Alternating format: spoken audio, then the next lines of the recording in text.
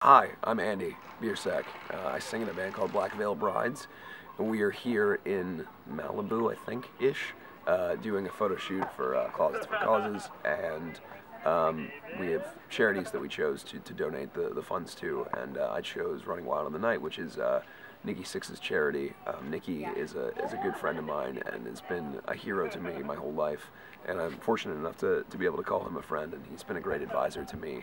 Um, in you know stuff like songwriting and just career and he's a really good person and, and someone that I look up to a lot and uh, his charity works with like underprivileged youth and giving them music classes and teaching kids about music. So um, as a musician myself and somebody who came to Los Angeles when I was 17 with no money and just had a dream of being in a band and to be able to be you know in a successful band or whatever is, is something that I'm very fortunate for and I, and I want hopefully other people to have the same opportunities and so charity like that is uh, kind of a great opportunity for people otherwise have those opportunities to uh, to play music and, and, to learn stuff. So, yeah, it, it's very important to me. Um, in terms of stylistically, my clothes, um, I uh, I don't know. I I think a lot of what I, I wear is just ripped up band shirts and uh, jeans and kind of general, I guess, rock look.